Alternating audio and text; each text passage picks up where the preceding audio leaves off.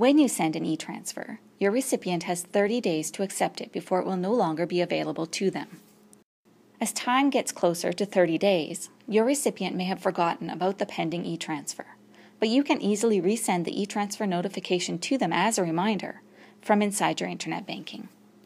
Just go to Transfers in the menu on the left-hand side of the page, and then click on Send Interac e-transfer.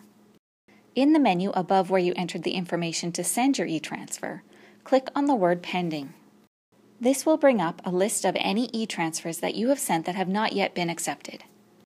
On the right-hand side under Select, click on Resend Notice beside the e-transfer that you would like to send a reminder for. This will bring up a confirmation screen. Double check that this is in fact the e-transfer you want to resend the notice for, and then click Confirm. This brings up a Resend Interac e-transfer notice receipt, confirming that you have successfully resent a notice to your recipient. Your recipient will now receive a second copy of the original notification that was sent to them.